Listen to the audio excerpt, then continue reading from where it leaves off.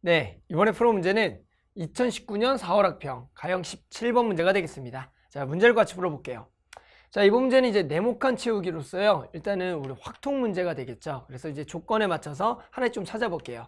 자, 문제부터 읽어보면 다음은 비어있는 새 주머니 A, B, C에 먼저 흰 공 6개를 남김없이 나누어 넣은 후에 검은 공 6개를 남김없이 나누어 넣을 때 빈 주머니가 생기지 않도록 나누어 넣는 경우의 수를 구하는 과정이다. 단 같은 색의 공은 구별하지 않는다. 이런 문제예요. 먼저 흰 공을 6개를 남김없이 주고요 그 다음에 검은색 공 6개를 주는 건데요.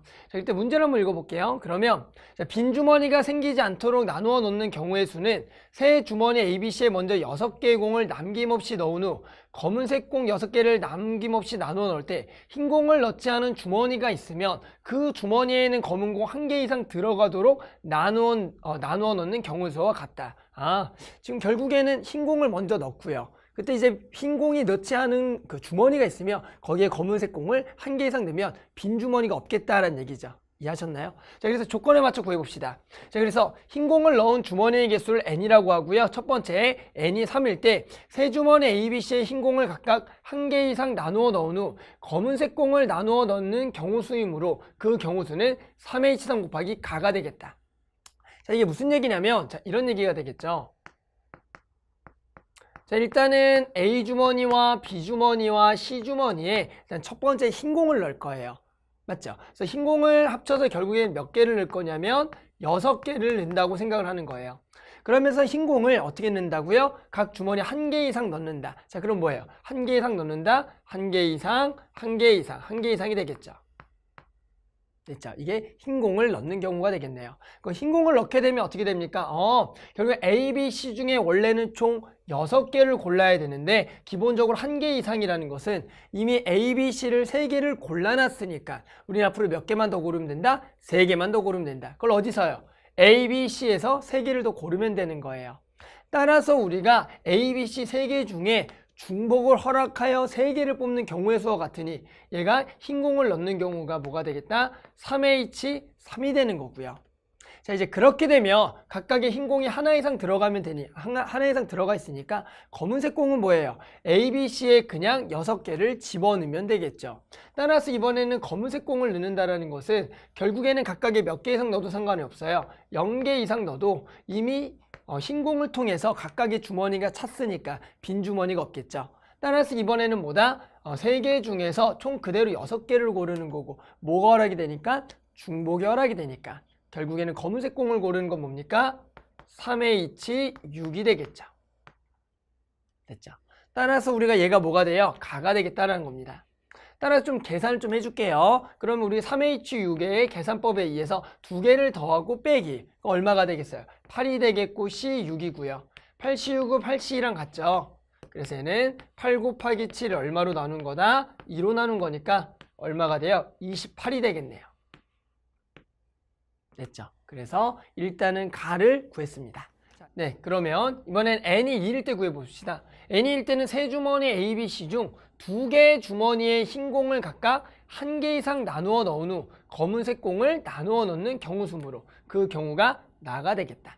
자, 이번에는 뭐라고요? 세 주머니 A, B, C 중에 두 개의 주머니에 흰 공을 각각 한 개 이상 나누어 넣는다라는 거고요. 그리고 나머지 공에다가 뭘 넣겠다? 검은색 공을 넣는 겁니다. 그러니까 주머니 두 개만 흰 공을 한 개 이상을 넣을 거예요. 자, 그러면 이제 뭐 이번에 어떻게 되겠냐면 저 여기로 가볼게요. 자 그러면 마찬가지 이번에는 원래는 A와 B와 C 합쳐서 흰 공을 합쳐서 6개를 넣어야 돼요. 그런데 이번에는 뭐라고요? 두 개의 주머니에 두 개의 주머니에만 흰 공을 한 개 이상 넣는다라는 거죠. 그러면 그 흰 공을 넣는 공이 A, B가 될 수가 있고 주머니가 B, C가 될 수가 있고 A, C가 될 수가 있으니까 아 일단은 저 세 개의 주머니 중에 두 개의 주머니를 선택을 해야겠죠. 그래서 일단은 저 나에 들어갈 경우의 수 중에 3C가 들어가겠구나. 됐죠. 자, 그럼 이제 어떻게 되는 거냐면 내가 이제 A, B를 골랐다고 해봅시다. 그럼 결국에 A, B에만 우리가 뭘 넣는 거예요? 적어도 하나의 신공을 넣는 겁니다. 그러면 결국에는 얘는 한 개 이상이고요. 얘는 한 개 이상인데 근데 얘는 몇 개를 넣겠다? 빵 개를 넣겠다. 여기에는 아예 흰 공을 넣지 않는다는 얘기입니다. 됐죠? 자 그러면 결국에는 얘가 한 개 이상 한 개 이상이니까 두 개 더해서 여섯 개가 돼야 되는데 그러니까 원래는 A, B 중에 중복 쿼럴카 6개를 뽑는데 이미 A와 B를 하나씩 골라놨으니까 몇 개만 고르면 돼요? 4개만 고르면 되겠죠. 따라서 이번에는 두 개 중에 중복 쿼럴카연 4개를 뽑니다. 그래서 여기가 EH4가 되겠죠. 됐죠. 자, 이제 뭐 하시면 돼요? 이 상황에서 검은색 공을 넣으면 되겠고요. 검은색 공은 결국엔 어디에만 하나 이상 들어가면 돼요? 밑에 써볼까요? 여기가 하나 이상 들어가면 되겠죠. 나머지는 적어도 0개 이상 들어가도 상관이 없는 거죠. 그래도 빈 주머니가 생기지 않으니까. 그러니까 결국에는 검은색 공은 C에만 적어도 한 개 이상 넣으면 되는 거니까 A, B, C 중에 검은색 공 6개를 뽑는데 C를 이미 하나 뽑아놨으니까 우리는 또 5개만 뽑으면 되고 이 의미가 3H5가 되는 거죠. 됐죠? 그래서 아 여기에 3H5가 되겠다. 됐죠? 그래서 결국에는 요게 전체가 뭐가 된다? 나가 되겠고요. 요 놈을 계산해 볼게요. 자 그러면 우리 3C 당연히 얼마예요? 3이 되겠고요. 2H4를 계산합시다. 두 개를 더하고 빼기 1이죠. 그럼 얼마 돼? 5C4니까 5가 되겠고요. 3H5는 두 개를 더해서 1을 빼면 은 7이 되니까 7C5가 되겠죠. 7C5는 7C2가 되니까 7 곱하기 6을 얼마로 나눴다? 2로 나눴다. 그래서 21이 되겠네요. 됐죠. 따라서 우리는 3 곱하기 5, 15고요. 여기를 계산하면 5, 20, 1, 그리고 2. 그래서 얼마가 되겠다? 315가 되겠다. 아, 그래서 일단은 나까지 구했습니다. 그 값이 얼마다? 315가 되겠다. 됐죠? 자, 그럼 이제 마지막 어, 세 번째 조건으로 가볼게요. 자, 세 번째 조건은 어떻게 되냐면 이번에는 n이 얼마일 때? 1일 때가 됐네요. n이 1일 때. 즉 이번에는 세 주머니 A, B, C 중 한 개의 주머니에만 흰 공을 넣은 후 검은 공을 나누어 넣는 경우 수으로 이 경우는 다가 되겠다는 거죠. 됐죠? 그러니까 이번에는 어디에만? 한 개의 주머니에만 흰 공을 넣는 겁니다.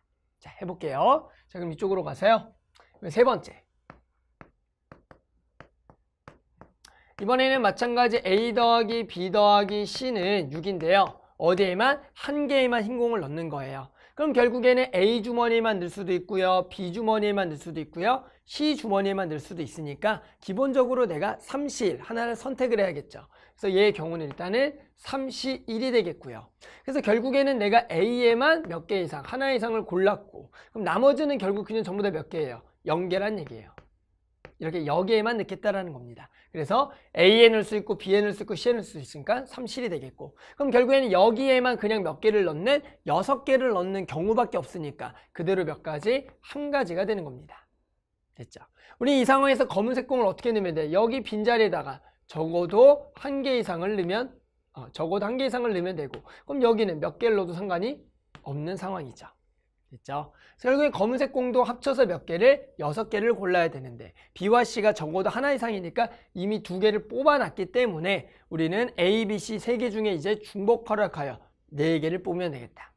됐죠? 그래서 결국엔 여기는 3H4가 붙겠다. 됐나요? 자, 그래서 결국에는 이것만 계산하면 되겠네요. 자, 계산해 보면 자, 얘는 3이 되겠고요. 3H4는 두 개를 더하면 맞죠? 7인데 빼기 1이니까 6, 6시 4가 되겠네요.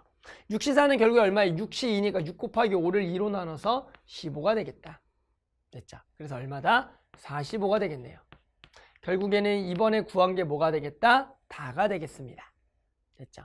따라서 지금 이제 문제는 뭐라 그랬냐면 결국에는 가나다에 알맞은 수를 PQR이라 그래서 세 수를 더하라 그랬으니까 우리가 방금 구했던 세 수를 더하면 되겠네요. 자, 그래서 세 수는 어떻게 되냐면 첫 번째 가가 얘가 가고요. 얘가 나고요. 얘가 답니다. 따라서 밑에다가 더할 거예요. 따라서 각각의 얘가 이제 P가 되고 Q가 되고 R이 되니까 결국에는 P 더하기 Q 더하기 R은 28 더하기 315 더하기 45가 되겠다. 따라서 얘와 얘를 더하게 되면 얼마가 돼요? 360이 되겠고요. 360에다가 28을 더하니까 얼마가 되겠다? 어, 388이 되겠다. 됐죠?